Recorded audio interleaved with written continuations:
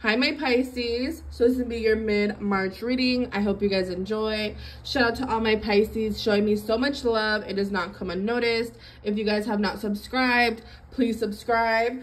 Um, if you guys are interested in any personal readings with me, Lizzy Tarot 1010 at gmail.com. Um, my readings are strictly through the phone, but if you guys um, want to do my $5 Cash App questions, that is strictly through via email only. Um, so let's get into the reading. So I did get stuck on them, shit on them. So I feel like you're stuck in on these hoes, in on these dusties. I feel like you're really in your bad bitch energy or um for my men you're very in your masculine energy i feel like you're seeing a lot of things um you see everything your intuition is literally on the money is what I'm getting. Your intuition is on the money, Pisces. No one can tell you otherwise. Even if you feel like you're crazy, you're not. Or if they think you're crazy, you're not. So let's see what's up for my Pisces in love. Let's see. So I feel like there could be someone very obsessed with you right now, very ego-driven, narcissist energy. There could be some cheating involved. Um, I feel like this person is very much, if no one can have you, sorry, if I can't have you, no one can, right? Um, I'm getting Capricorn energy, a lot of earth sign energy. So Capricorn, Virgo, or Taurus.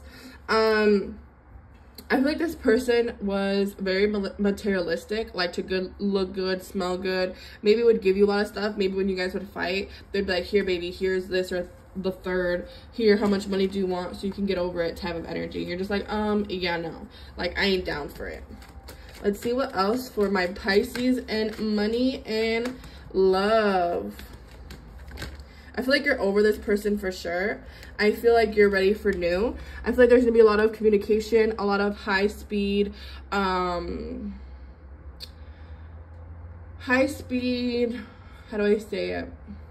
I want to say traveling as well, but also communication, like back and forth, texting, a lot of attraction, a lot of, um, sexual energy is what I'm getting, but a lot of luring in. Like your energy is just going to be attracting and luring in people. Could be a sag could be an aries. Um but i feel like there's a lot of travel traveling going on and a lot of romance. Maybe this is gonna be a long distance relationship.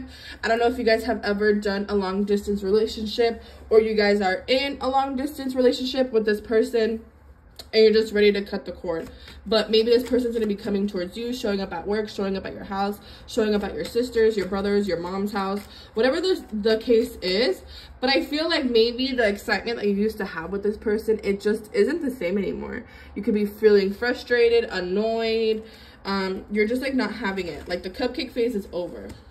Let's see what else. Let's see what else for my Pisces for my Pisces, let's see what else. Yeah, I feel like you're trying to move past it, but I feel like I'm hearing once a cheater, always a cheater, and you won't be able to get over it. Like, oh, you already cheated on me? Okay, well, I can't be with you anymore. I want someone honest, pure, truthful, loyal, down for me, there for me at my lowest type of energy. So I feel like you're to be meeting your soulmate once you leave this person keep in mind in retrograde a lot of breakups happen.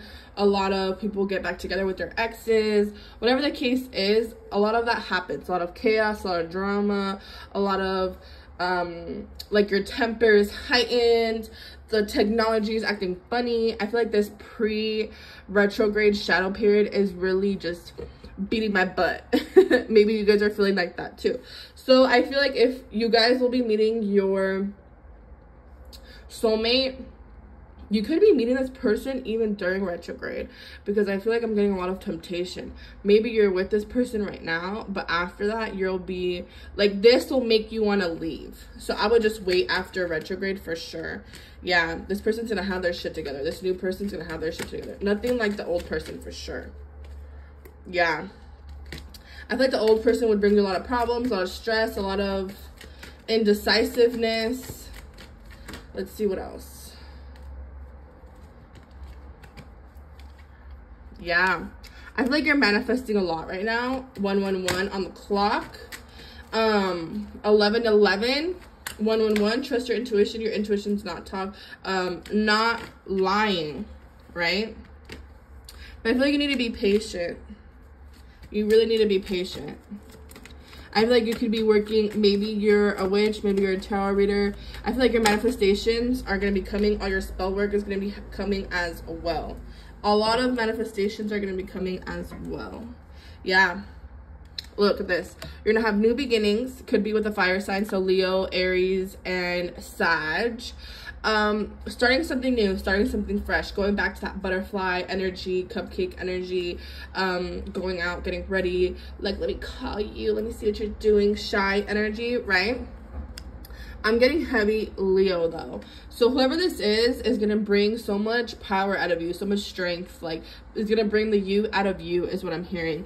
Um, this person's gonna be very have a good head on their shoulders going to be very knowledgeable hardworking all the aspects that you really want this person's going to have them this person is literally going to have them and this person's going to be in charge this person's not going to be indecisive this person's not going to be playing any games.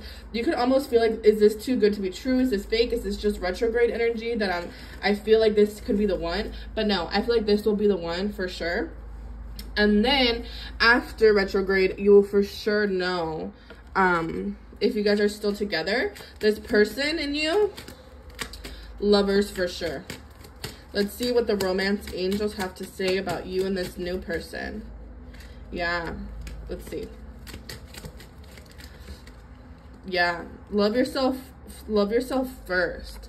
So I feel like you really need to work on yourself, loving yourself first. This person's really going to see it. I feel like you're really healed overall um, this person's gonna see that you love yourself, you know your self worth, you have self awareness, you're not letting anyone control you, tell you what to do, you got the bag. Um, very independent energy is what I'm getting as well. So this person's gonna be attracted to that. They're like, damn, Pisces got the bag. She looks good. Um, he smells good. He has no drama. He's just ready to be loved or ready to be with me. Whatever the case is, you and this person are gonna hit it off. So that's all I have for you Pisces. I hope you guys enjoyed. If you guys do want to book a reading or any services, don't forget to check out the description down below and I'll see you guys the next one.